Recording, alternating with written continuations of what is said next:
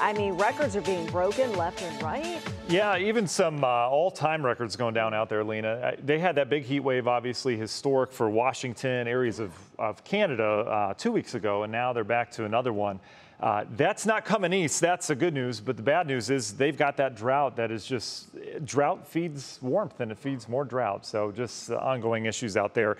Uh, if only we could take some of our rain and you know give it right. to. I mean, seriously, we have got a lot. we have a lot. We've had too much. Uh, take a look at this video. Uh, Dom Ferrante shot this earlier uh, safely from the passenger seat as he was driving through the Willoughby area. Very common scene across Northeast Ohio this afternoon. We had rarely use the term washout, but boy, we were in washout status uh, earlier today, and that continued through this afternoon as this chunk of rain came through. We were talking with the Indians. Do we get the game in or not? Last one before the All Star break. Uh, today was the nada, postponed due to uh, all that rain we had.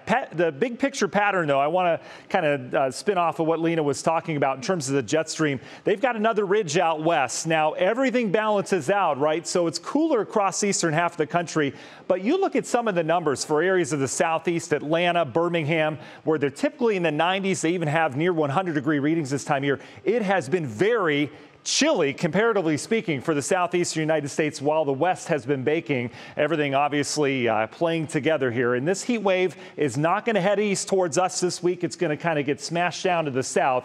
Uh, we have a warm week ahead, don't get me wrong, but we don't have that record heat heading our way. It's going to kind of sink down to the south. So let's talk the rainfall. Look at some of these numbers today. Over two inches officially at the Akron Canton Airport, almost an inch at Cleveland Hopkins. You can see Mansfield over half an inch. This is where those official measurements are taken.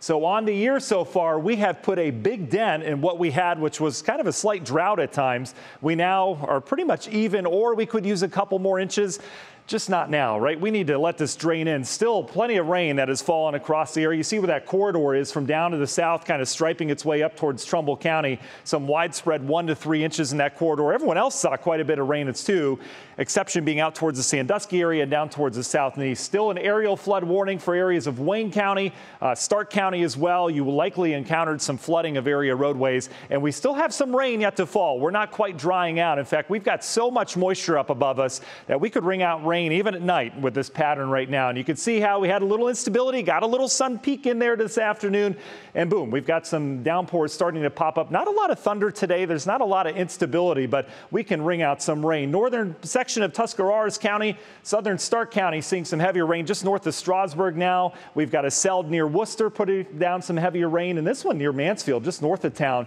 is really putting down uh, pretty decent downpours. And then Norwalk, you've been dealing with this over the last half hour. So some more heavy rain in the forecast. It will be scattered from here on out. That's the good news. But look at this pattern.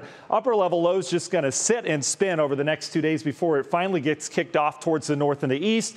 We're the recipients of, I mean, basically, if you picture a water wheel here, just taking the water from the Gulf and bringing it up, that's what we're dealing with. We've also got the thick humidity around as well. So the humid it's not going to go away. The humidity's not this week. Look at the muggy meter. We stay in the tropical category. This is the question mark in the forecast. Can we get some dry air in here for the weekend? I'm leaning optimistic at this point. We'll see where we go from here. This is a cool look at how much moisture is up above us. We can measure that. We call it precipitable water. Basically, if you were to squeeze the atmosphere out, how much rain can fall, a little bit or a lot. When you get some of these brighter shades of blue, that's a lot. That's some 200% of where we normally are. Look at the pinwheel the next two days. So any thunderstorms we have can produce some very heavy rain.